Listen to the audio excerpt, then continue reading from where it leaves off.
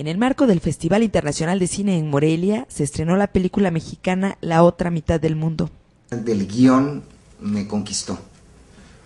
Desde un humor aparentemente muy obvio y muy sencillo, hasta la profundidad de hablar de toda una sociedad, de todo lo que implica la falta de valentía, la crítica al machismo, la crítica a la represión sexual de los hombres en nuestro país hasta la fecha, la, el sojuzgamiento de la mujer.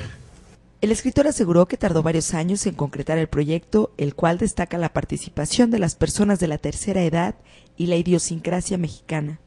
Me interesaba mucho eh, ver cómo un ser de, estos, eh, hay ciertos prejuicios con ellos, y cómo podía ser un despertar sexual tardío. A lo mejor lo tenía siempre, pero no, no lo había explotado.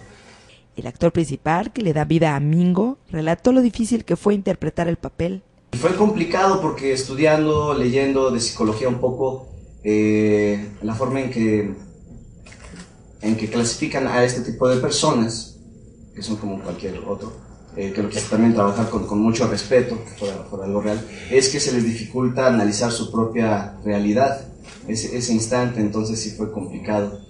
Para los amantes del cine mexicano, este es un excelente filme del despertar sexual de un joven al que el pueblo llama Mingo, de 25 años, que sufre retraso mental, carismático y poeta fantasioso. Su condición de amante le atrae popularidad, por lo que no tardará en salir a flote los prejuicios y sobre todo la falsa moral de un pueblo enseguecido para lavar sus culpas, cobrando la muerte del menos indicado.